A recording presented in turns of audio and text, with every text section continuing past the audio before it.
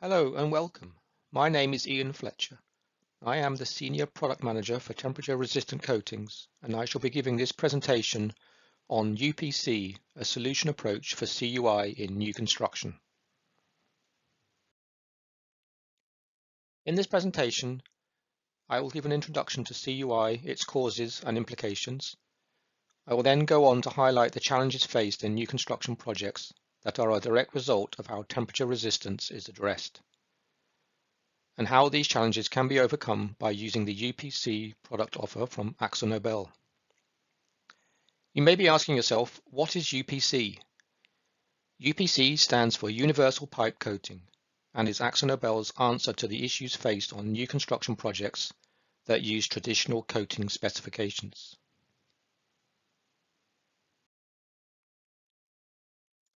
It is fair to say that the oil and gas industry has changed dramatically over the last 10 years. Facility owners are more than ever looking to reduce shutdowns, improve plant efficiency, and extend plant lifetimes. With this comes the increased industry understanding about CUI and its impact, and the ongoing desire for pragmatic high performance and cost-effective coating solutions.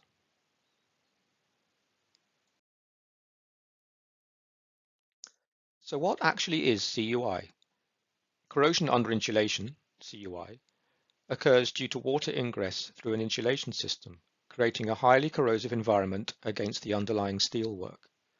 And CUI's corrosion rate can be up to 20 times faster than atmospheric corrosion, resulting in steel loss of between 0.5 and 3 millimeters per year. As shown before, Corrosion of the substrate is difficult to identify without the removal of the insulation and can therefore go unrecognized for significant periods of time. As a consequence, there is considerable degradation of steel piping and vessels with the potential for catastrophic failure. As you can see in this schematic of an insulated pipe, water easily enters damaged cladding. Over time, the water starts to accumulate towards the bottom of the pipe. The hot pipe heats the water and dissolved salts start to accumulate on the pipe surface. The aggressive environment accelerates the corrosion process, which if left unchecked, will lead to catastrophic failure.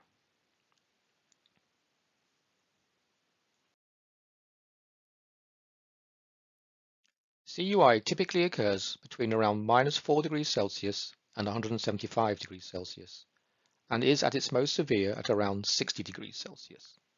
It is fair to say that very little equipment experiences a constant temperature. It may undergo cyclic temperature processes and will be at ambient during pre-startup and shipping to site, during annual shutdowns and maintenance, and during unplanned shutdowns and outages. So it is fair to say that all piping and equipment under insulation will enter the CUI temperature range at some point in its life.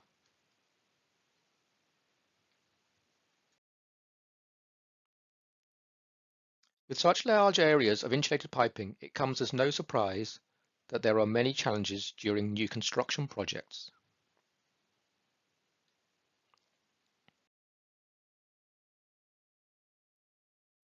Oil and gas new construction projects can involve thousands of process pipe spools, valves, and other associated equipment. All of them require different coating schemes depending on the surface temperature range, or if they are carbon steel or stainless steel, or if the requirement is for insulated or uninsulated applications.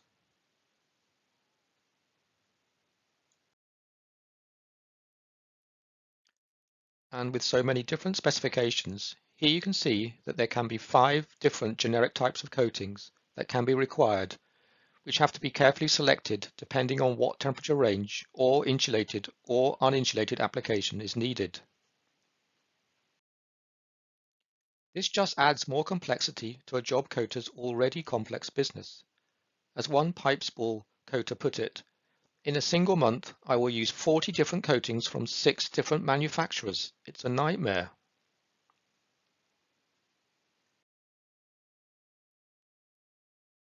So as we have seen, having to paint so many process pipes can be a complicated business. For example, for a pipe spool job, a pipe spool blaster and painter needs to know how many different coatings are required, which spools need insulation and which ones do not, which ones are for cyclic service and which ones are not, and then how many different coating systems are needed. This segregation into each coating category is critical in order to avoid making mistakes and using the wrong coating system on the wrong pipe spool. This complexity can add cost for blasters and painters, resulting from the increased risk of application errors, reduced productivity, and increased paint waste and disposal costs.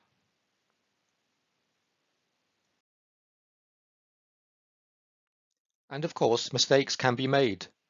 Bulk supplied items can arrive at the fabrication site with the incorrect coating for the final operating environment, requiring expensive on-site rework. Up to 20% of bulk supplied items can be installed with an incorrect coating system for the final operating environment, again resulting in further rework, which can cause delays and increase costs. Another issue is that, for example, process piping, vessels and valves, the so-called bulk supplied items, have long lead times and they will be ordered before the final detailed project specification has been written. This means that bulk supplied items can be ordered and a protective coating system applied before confirmation of the final operating environment has been obtained. Any on-site changes will again mean that it is likely that the applied coating system will have to be removed as it won't be suitable for any operating environment changes.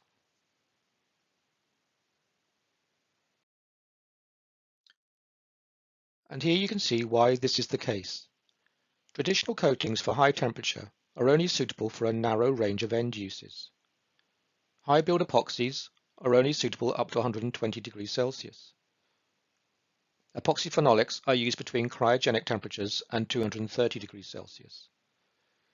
Inorganic zinc silicates, although have a wide temperature range, should not be used under insulation as they can accelerate carbon steel corrosion. And aluminium silicones, which also have a wide temperature range, have poor corrosion protection in the CUI temperature zone.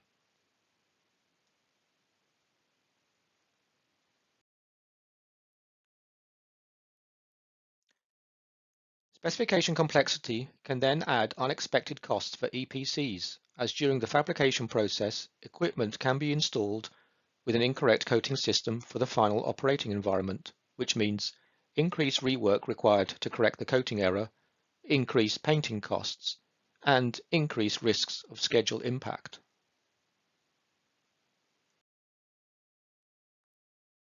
And for owners, the coating errors resulting from specification complexity lead to the increased risk of CUI and increase maintenance and repair costs.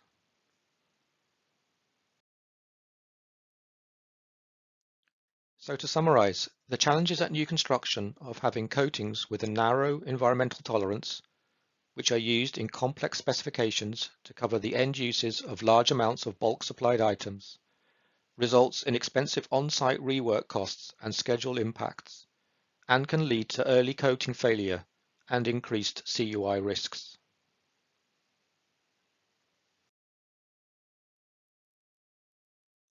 As a result of all of this, engineering companies need coating solutions to reduce the complexity of handling large amounts of piping and associated pipe accessories, such as valves, and coatings that provide excellent corrosion and temperature resistance across a wide range of temperatures that reduce on-site rework costs, reduce schedule impacts, and reduce the costs of coating failure.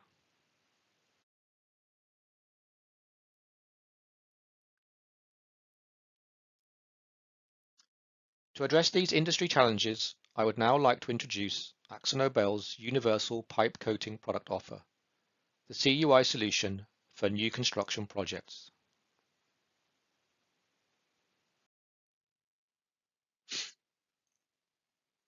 The product offer consists of two products. For process piping and equipment operating between minus 196 degrees Celsius and 650 degrees Celsius, Interbond 1202 UPC should be used. And for process piping and equipment operating between minus 196 degrees Celsius and 230 degrees Celsius, Interbond 2340 UPC can also be used.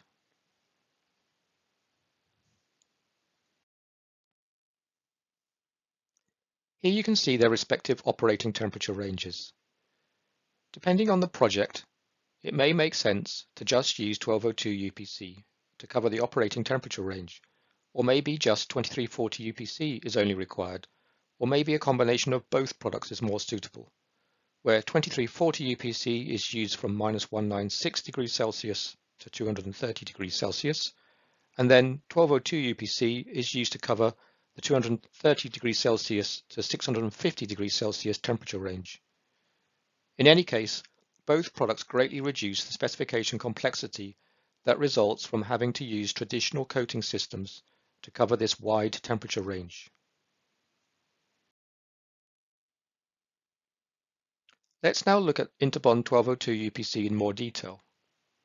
Interbond 1202 UPC is a novel IMM inert multipolymeric matrix coating based on enhanced inorganic copolymer technology and provides corrosion and temperature resistance from minus 196 degrees Celsius to 650 degrees Celsius without the need for a heat cure or a primer. And one of the reasons why this is possible is because of 1202 UPC's excellent corrosion resistance. To highlight this point, 1202 UPC's corrosion resistance was benchmarked against other IMM coatings available on the market that all comply with the NACE SP0198 2017 CS6 coating category. All coatings were applied at 2 times 125 microns and cured at 20 degrees Celsius for a minimum of 7 days before corrosion testing started.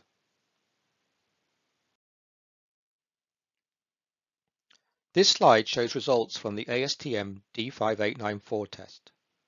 The test consists of one week prohesion testing and one week cyclic UVA condensation testing. Again, 1202 UPC performed very well with only coatings 2 and 3 also performing well, whilst the other coatings tested failed either due to corrosion through the film or both high corrosion creep and coating defects. It should be noted in both of these tests that only the two-pack coatings, 1, 2 and 3, performed well, whereas all one-pack products performed poorly.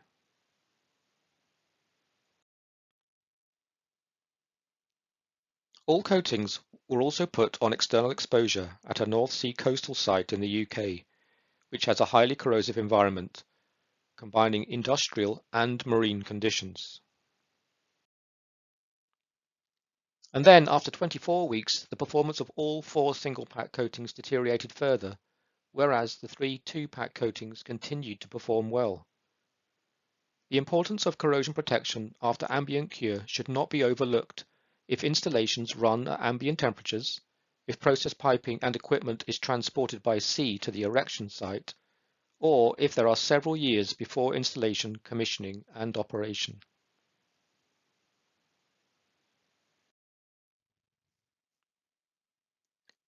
Corrosion resistance was also looked at after heating to 205 degrees Celsius. This is important to know because it is possible that coatings can degrade at high temperatures, but this degradation only shows itself at ambient temperatures after exposure to a corrosive environment, such as during a shutdown in a refinery or petrochemical plant. This test consists of two weeks at 205 degrees Celsius, followed by two weeks of ASTM D5894 testing, which is then repeated six times. Here again, we see that 1202 UPC performs very well, as does coating 2. Three less so, but all single pack products perform poorly.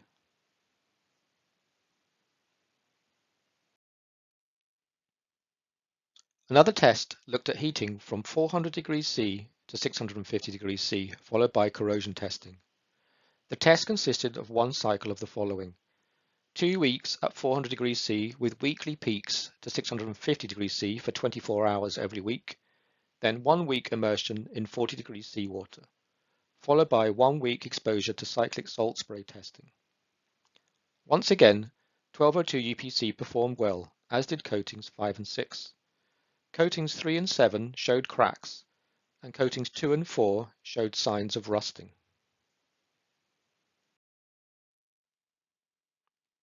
The third key element for a universal pipe coating is its ability to provide excellent protection against corrosion under insulation.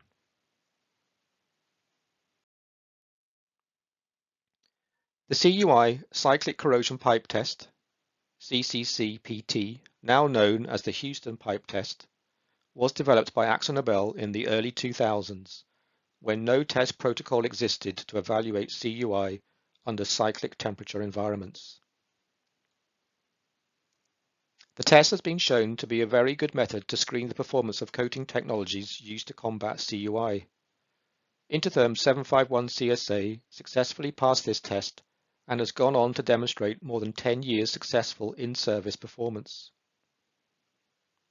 The test is based on clamping two calcium silicate half shells around a pipe coated with the product under test. Calcium silicate was selected as the insulation material because of its ability to absorb a large amount of water and so maintain a high level of water saturation around the pipe.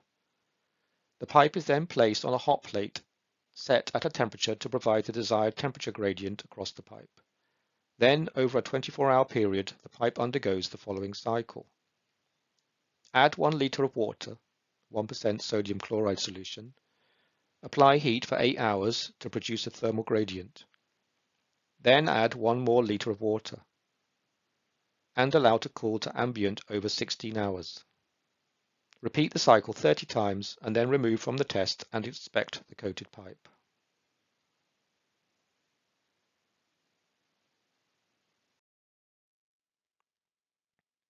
This test was configured to ensure coated pipes were exposed to a temperature range from 50 to 200 C as you can see in the pipe temperature wet column in the table, and so covered off the critical CUI zone.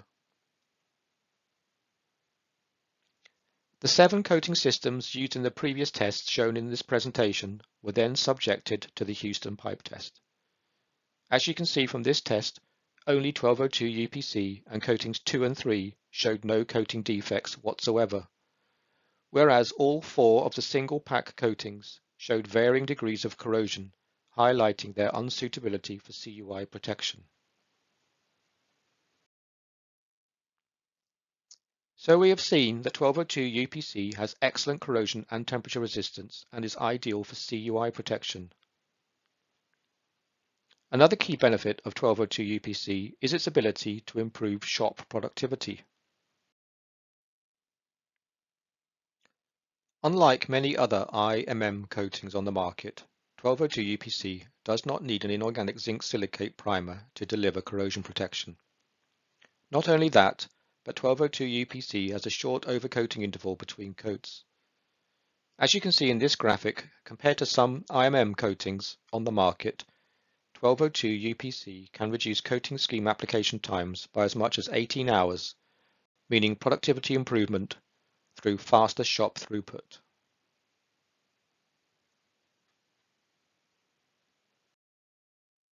So to summarize, not all IMM coatings are the same. Some coatings have poor corrosion resistance at ambient temperatures. Other coatings do not provide the high heat temperature resistance they claim.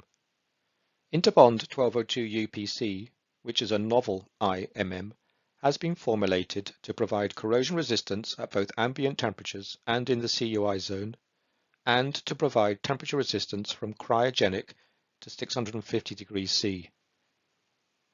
Interbond 1202 UPC greatly simplifies specifications, which means faster shop throughput and less waste for fabricators and applicators, less on-site rework costs for EPCs, and greatly reduce CUI risks for owners and operators.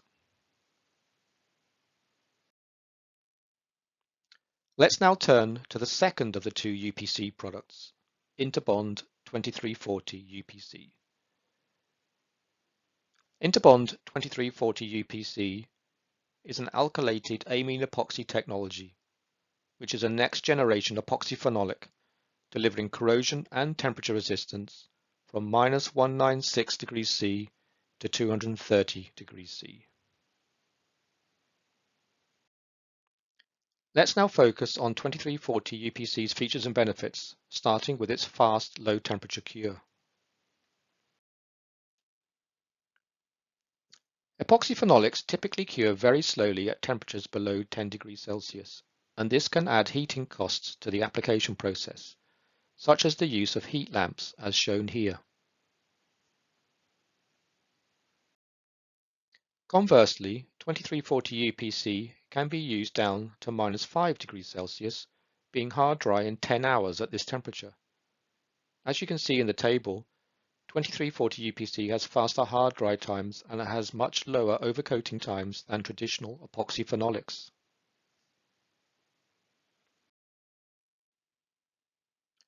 This means that compared to traditional epoxy phenolics, Interbond 2340 UPC allows process piping and equipment to be coated up to 85% faster, greatly improving shop productivity.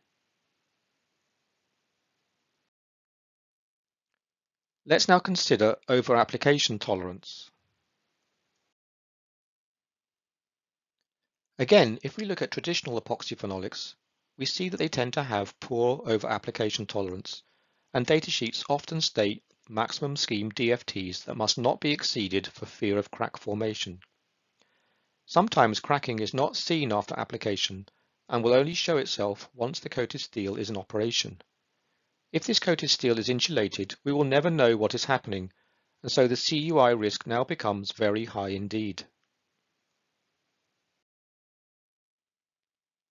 As a way to demonstrate 2340 UPC's resistance to cracking due to over-application, a detailed test program was carried out by AkzoNobel. In this program, panels containing a weld are cured at ambient for seven days and then subjected to five heat cycles. One cycle consists of 8 hours at the target temperature, followed by 16 hours cooling to room temperature.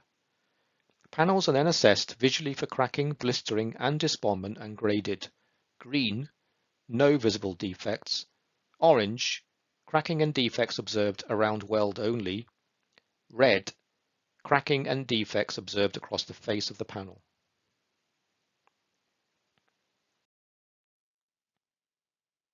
Here we can see the performance of a so-called average performing epoxy phenolic. Heating to 120 degrees C, we see good performance for schemes up to 2 times 175 microns, but then after that cracks around the weld start to appear. Heating to 150 degrees C, we see a different picture.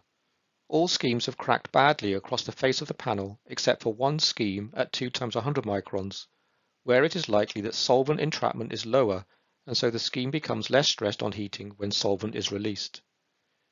However, when panels are heated to 200 degrees C, again we see that all panels have cracked badly, with this time cracks being just around the weld for the 2 times 100 micron scheme. Nonetheless, all panels have cracked and so failed the test.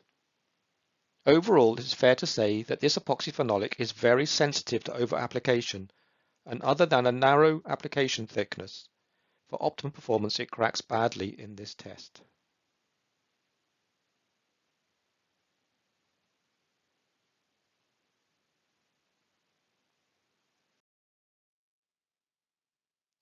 Now if we look at a so-called well-formulated epoxy phenolic, heating to 120 degrees C, we see good performance for all schemes.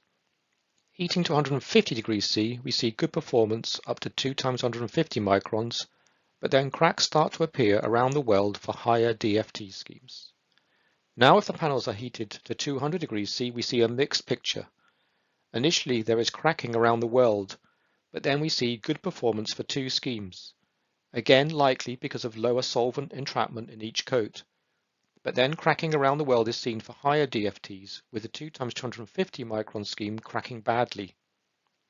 This epoxy phenolic has a slightly wider application thickness for optimum performance compared to the average performing epoxy phenolic, but as thicknesses and temperature are increased, we generally see cracking around the weld.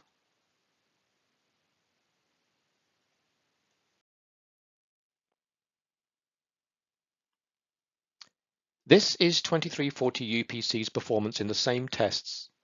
Here you can see for all test temperatures and DFTs there is no cracking whatsoever anywhere on the panels. Interbond 2340 UPC shows excellent tolerance to over-application.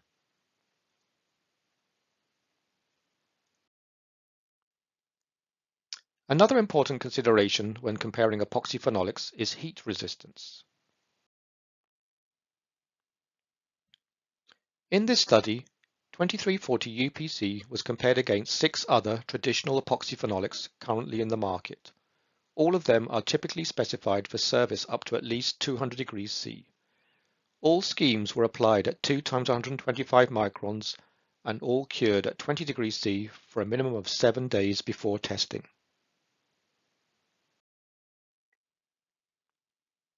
After six months exposure to 205 degrees C, we see differences in performance. One coating showed significant cracking after just six weeks, another significant cracking after 12 weeks, and one some minor cracking after three weeks. 2340 UPC and three other coatings performed excellently.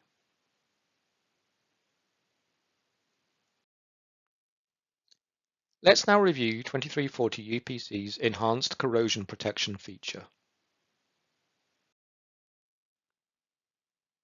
In this study, 2340 UPC was compared against the same six other traditional epoxy phenolics currently in the market. As before, all schemes were applied at 2 times 125 microns and all cured at 20 degrees C for a minimum of seven days before testing. All panels were exposed to 25 cycles of the ISO 12944 Part 9 2018 test standard as used to qualify coating schemes for offshore CX environments. As you can see, only 2340 UPC performed well in terms of rust creep from the scribe and no corrosion spots. One coating system showed particularly bad corrosion across the face of the panel. Several coating schemes had greater than 8 mm corrosion creep and two were close to 8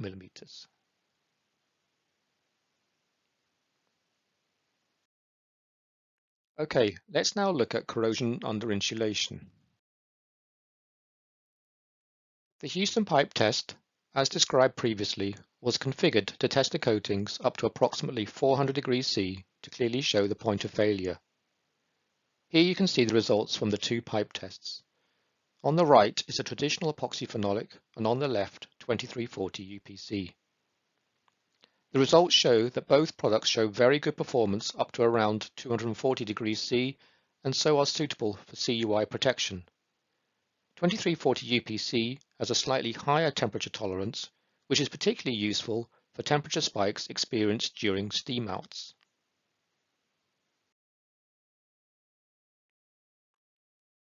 Another key benefit of 2340 UPC is erosion resistance. Often, process piping can be delivered to the erection site and sit around for a considerable time before installation.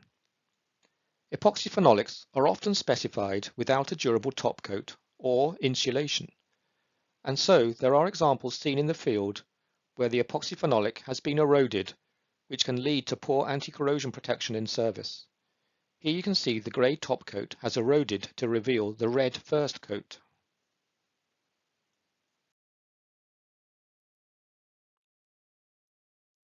A new test was designed to simulate two years exposure to erosive conditions in an extreme climate which constantly cycles between high UV and heavy rainfall. Coatings were evaluated for DFT loss after exposure to accelerated weathering. The exposure cycle was seven days, six days QUVA water spray, followed by one day of condensation exposure.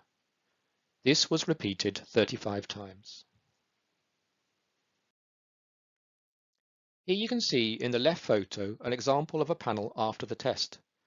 The amount of coating erosion correlates well with what is seen in the field.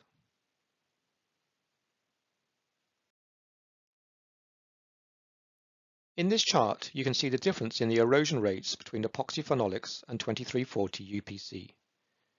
After 35 weeks of accelerated testing, the epoxy phenolics have lost between 80 to 100 microns of DFT whereas 2340 UPC has lost less than 40 microns, showing it to be far more resistant to environmental erosion. So to summarize, not all traditional epoxy phenolic coatings are the same. Some coatings have poor corrosion resistance at ambient temperatures. Other coatings do not provide the high heat temperature resistance they claim. Interbond 2340 UPC, a next generation epoxy phenolic, has been formulated to provide excellent corrosion resistance at both ambient temperatures and in the CUI zone, to provide temperature resistance from cryogenic to 230 degrees C temperatures, provide low temperature cure down to minus 5 degrees C and have excellent crack resistance at high DFTs. Interbond 2340 UPC greatly simplifies specifications, which means faster shop throughput and less waste for fabricators and applicators, less rework costs for fabricators and EPCs, and greatly reduce CUI risks for owners and operators.